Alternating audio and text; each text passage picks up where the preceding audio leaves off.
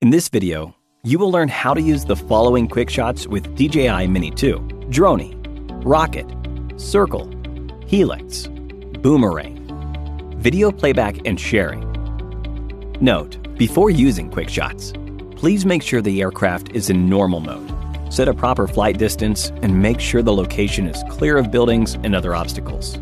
If you are not familiar with this function, start with a shorter range. Take off and hover at least 2 meters above the ground, and select Quick Shots in the DJI Fly app. Dronie. Tap Dronie and set a max flight distance. Tap on the subject or drag a box around the subject, and then tap Start. The aircraft will face the subject and fly backward as it ascends. Once recording is finished, the aircraft will fly back to its original position. Rocket. Tap Rocket and set a max flight height. Tap on the subject or drag a box around the subject and tap Start. The aircraft will ascend with the camera pointing downward. Once recording is finished, the aircraft will fly back to its original position. Circle. Tap Circle and select a flight direction. Tap on the subject or drag a box around the subject, and tap Start.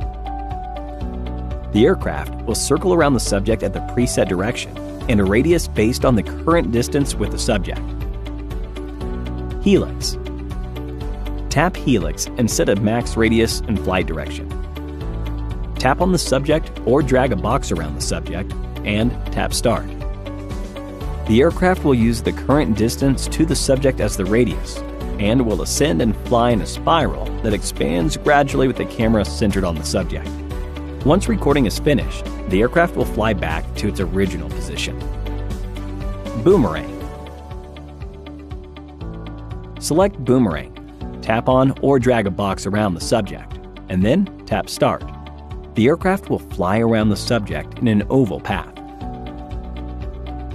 Whenever you want to exit a quick shot, tap the X icon on the right side of the screen, or press the Flight Pause RTH button on the remote controller. Then, the aircraft will exit the quick shot and hover in place. Do not move the control sticks while recording, otherwise, the aircraft will immediately stop and exit the quick shot. Playback and sharing.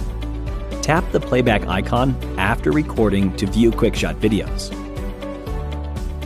Tap the icon at the bottom left and save the videos to your mobile device. Tap the button at the bottom right to switch between the original file and QuickShot video. You can also tap the editing icon at the bottom right and edit the original file and QuickShot video based on your preferences.